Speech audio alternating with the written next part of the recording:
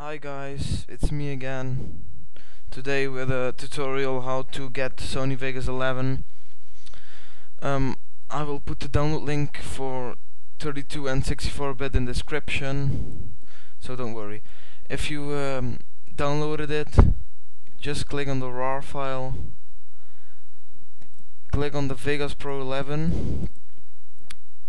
Um, I don't need to do it, just click next, next, next after it uh, after it's installed click on patch.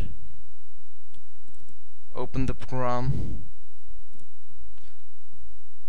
Oh my god every fucking keygen and every fucking patcher has the terrible songs. Ah, okay then you just need to click on patch. Patching done then just click exit. If you did that um, you can open Vegas 11